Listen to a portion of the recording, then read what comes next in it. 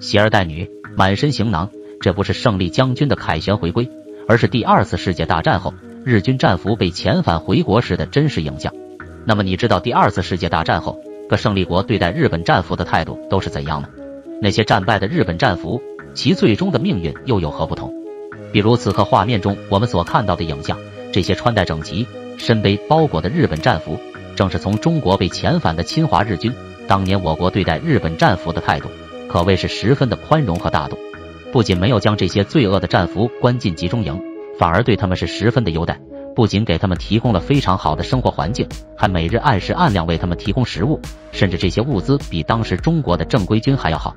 且在战争结束后，我国还专门设立了有关日军战俘遣返回国的机构，来尽可能的帮助他们返回日本，不仅没有将他们所犯下的罪行。用在这些日军战俘的身上，更是用以德报怨的形式，给这些万恶的日军提供了最大的帮助。但相较于中国的宽容，其他国家的态度就显得不是那么的友好了。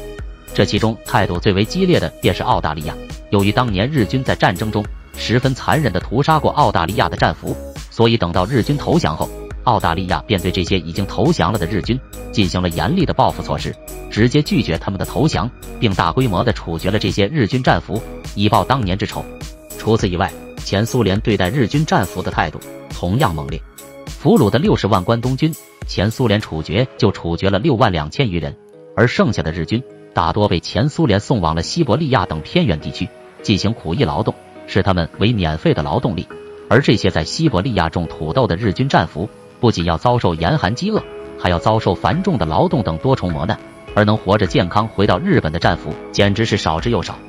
当然，除了前苏联和澳大利亚这些的激进派，还有一派的态度则是相当复杂。比如美国，前期战争时，日军对待美军的战俘同样残忍，但在战争结束后，美国不仅没有对日本的战俘进行极端的虐待或报复，反而十分积极的帮助日本重建家园。不仅遵循了国际法和战争惯例，还安排部分日本战俘进行一些情报的收集和战略研究等工作，可谓是十分的令人不解。但不管怎样。这些日军所做过的事情，都将会被历史牢记。他们所侵犯的国家和地区，也都不会忘记二战时期自己国家所遭受的磨难。那么，看完以上视频，你觉得哪个国家对待日本战俘的态度最能让你解气呢？